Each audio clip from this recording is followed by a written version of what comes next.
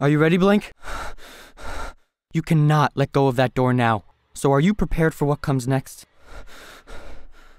Because you just stumbled into this thing, and you will need a thicker skin than what you've got to get to the end of it.